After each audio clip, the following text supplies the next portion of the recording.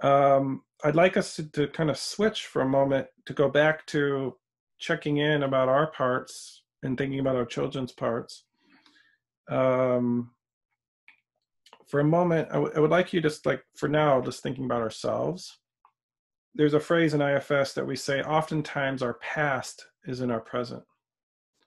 And this is really um, something that's spoken a lot of when we do couples work. Like we're, we're interacting with our partner and our past is in the present. And, and when our partner does something or a friend does something, even our child does something, our reaction is really rooted in the past all those parts that have experienced things like this in the past or things that have affected us to react this way so how do we get the past out of the present and we do that by asking our parts to give us space and working with our parts if you don't work with a practitioner ifs therapist i would at least i would highly recommend doing at least three to five ten sessions because this it really helps you as a parent to get to know your own parts um, but I'd like to kind of think about my hunches. Most of our protectors, well, we, we kind of know this in IFS, but most of our protectors are reacting to some kind of fear of something.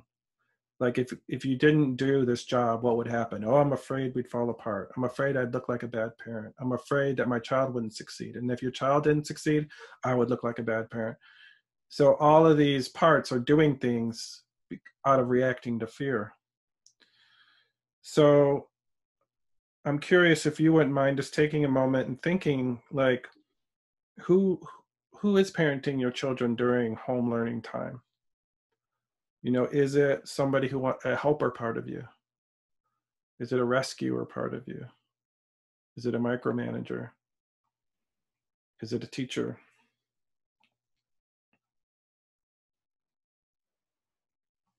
To just kind of scan, think about who steps in. I just want to say this just to honor your parts and my parts. A lot of times we do call these parts like a helper, a rescuer, a critic. I would like to propose that parts are more dimensional than that, that it's not only a critic. Sometimes, so I like to say the one who criticizes, the one who helps, because oftentimes when we help these parts, they shift. So they're not locked in. It's not only a critic. It's what it's criticizing right now because it's desperate to make your life go better, to, to have you not be criticized by others. Um, so we, somebody said we have one that micromanages from fear of failure. Somebody just posted that on our.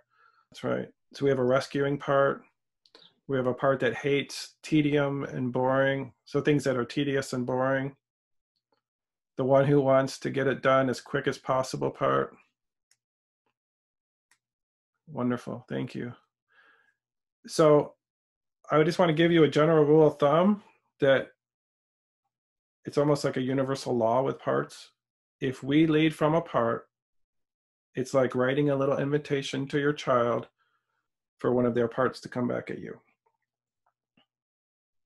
So it says, the good little girl pleaser. So we have a part that wants to please, and we're that is somehow coming out with our child. Yeah, the perfectionist part. She tells me if you're not perfect, you're bad. Yep.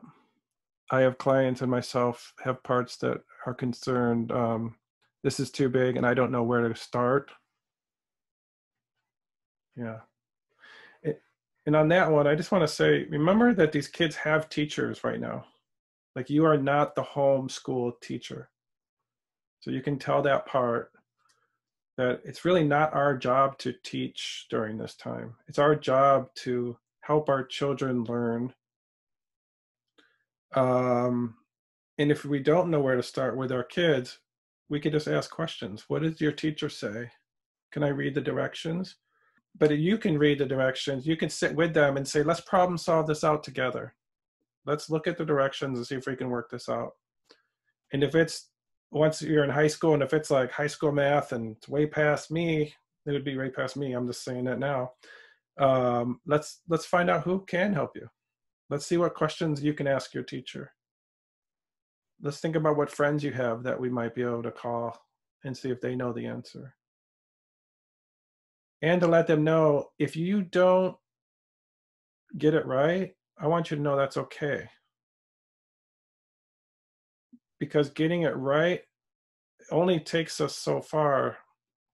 One thing I wanted to say earlier, I didn't say is our job as parents are not not to raise transcripts. We're not raising transcripts. We're raising learners.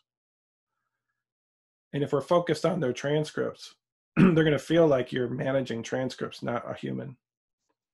And if we focus on learning and you support learning, they're going to have good transcripts. Yeah. So just I want to go back to the one before that feels like a bad teacher and that I'll be punished or judged. Um, when I feel those kinds of things, it really is a signal to me to know to check in with my own parts and finding the ones that feel judged. And hopefully this makes sense to you if you know IFS. That we look inside and we even ask, like, who feels judged?